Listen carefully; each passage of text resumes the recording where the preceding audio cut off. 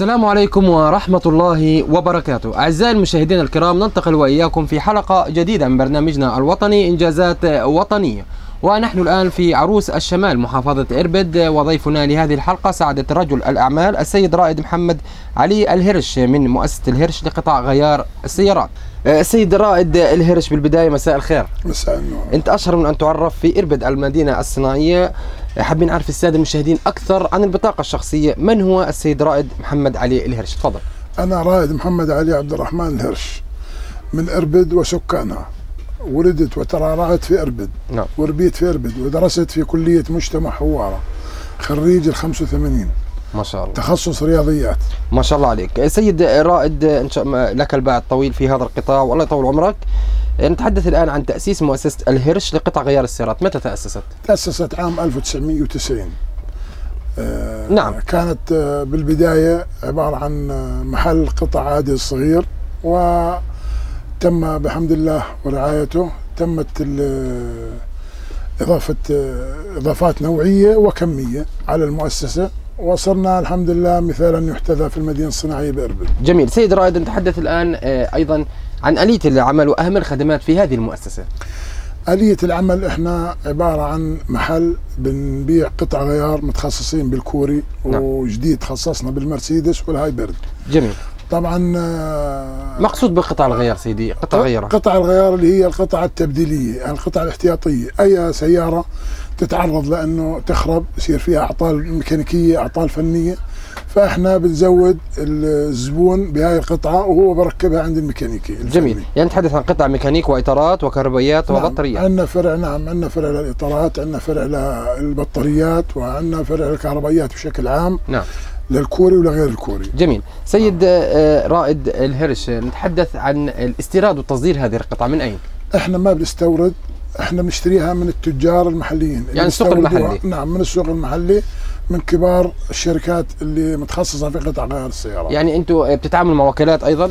نتعامل نعم طبعا نتعامل مع وكالة شركة تويوتا بنتعامل مع شركة هونداي وكالة شركة هونداي وبنأخذ منهم قطع بالإضافة للشركات المتخصصة اللي مستورده جميل. سيد آه، رائد آه، الهرش نتحدث عن إقبال المواطنين لمؤسسة الهرش لقطع غيار السيارات كيف ترى إقبال المواطنين؟ والله بفضل الله طبعا الحمد لله إقبال علينا جيد. نعم. وبمقارنه بالسوق ومقارنة بالركود الاقتصادي الحمد لله بنعتبر حالنا إنه من الناس اللي متفوقين نوعيا وكميا. وبفضل الله كمان آه، لنا صفحة على الفيسبوك وبيجونا رواد وزوار إلها من كافة أنحاء المملكة. جميل.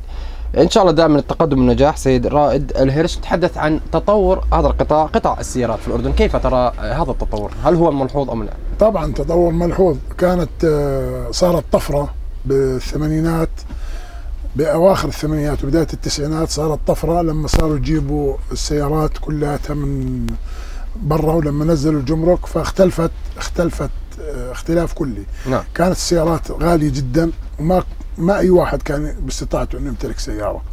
الآن صار أي واحد بيمتلك سيارة. على مستوى لو كان موظف راتبه 300 دينار بيمتلك سيارة. شو بتدعو الساده المشاهدين سيد رائد الهرش رسالة توعية وإرشاد؟ والله رسالة توعية إنه ما يشتروا السيارات القديمة اولا لأنه بحط أكثر من نصف راتبه عبارة عن صيانة إلها. يمكن هي قوية آه، بودي بنحكي إحنا لكن آه، فيها مشاكل. فيها مشاكل أكيد. بعدين إيه البودي هو بده يركب بودي ولا بده يركب ماكينة؟ بده نعم. يركب ماكينة بده يركبها أمامية بده يركب آه، أكيد واسعارها غالية جدا آه هذه آه القطع قطعها أصلا غالية بتكون جدا بالنسبة لمقارنة للسيارات الحديثة. نعم. بالإضافة إلى انه السيارات ال- القديمة اصلاحها مكلف ومتكرر جميل. ما هي الطموحات لمؤسسة الهرش لقطع غيار السيارات والرؤيه المستقبلية؟ والله إحنا بفضل الله يعني متأمل من الله سبحانه وتعالى. إنه نظلنا على هذا النهج مع المواطنين وبنحاول وبنطمح إنه يكون لنا أكثر من فرع لأنه في ضغط علينا كثير الصحيح من آه، زوارنا وزبائننا بعمان إنه نفتح فرع بعمان. أكيد. التميز والشعبية سيد علي آه، سيد رائد الهرش من أين جاءت؟ والله أول شيء آه، من علاقتنا الطيبة مع الناس بشكل عام بالإضافة للأسعار المنخفضة جدا يعني متناول يد المواطن؟ نعم بالنسبة لأسعارنا مقارنة بالأسعار اللي موجوده بالسوق نعم. يعني لا تنافس. جميل. نحن نعيش بمنظومة نعمة وأمن وأمان. نعم. في هذه الأيام في هذه الظروف في هذه المناسبات لو قدر لك أن تقابلت مع جلالة الملك عبد الله الثاني بن الحسين في ظل هذه القيادة الحكيمة ماذا ستقول لسعاده رجل أعمال السيد رائد الهرش. تفضل. والله إحنا الحمد لله بفضل الله عندنا يعني أمن وأمان بشكل الصحيح اذا ما قورن بالجوار عندنا أمن وأمان مش طبيعي اولا. ثانيا إحنا الحمد لله الواحد بيقدر يطلع أو البنت أو الشاب بيقدر يطلع الساعة 12 واحدة بالليل ما هو خايف على نفسه ولا هو خايف على روحه ولا هو خايف على أولاده ولا على زوجته. بينما في بعض الدول ما بيستطيع الإنسان يطلع خارج بيته بعد المغرب. أكيد. شو بتوجه رسالة أيضا للجهات الأمنية لسهرهم على راحه المواطن أنا أنا بشكرهم الصحيح وبشد على أيديهم وصراحة إنه في يعني آه خلينا نحكي آه في مثابرة كثير من ناحية الأمن ومن ناحية المحافظة على الأمن عرفت كيف؟ نعم. وإحنا طبعا هاي كلياتها بتوجيهات من صاحب الجلالة أكيد. الملك المعظم. نعم. حفظه الله ورعاه. نعم الله يديم فوق روسنا وأكيد الله يعطيهم العافية الجهات الأمنية والمعنية.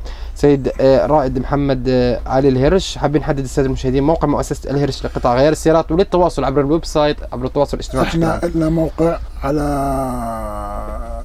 ال website وفي لنا بالمدينة الصناعية بأربد معروفين لأنه صار لنا إحنا أكثر من 25 30 سنة فاتحين المؤسسة فمعروفين على مستوى محافظة أربد كاملة.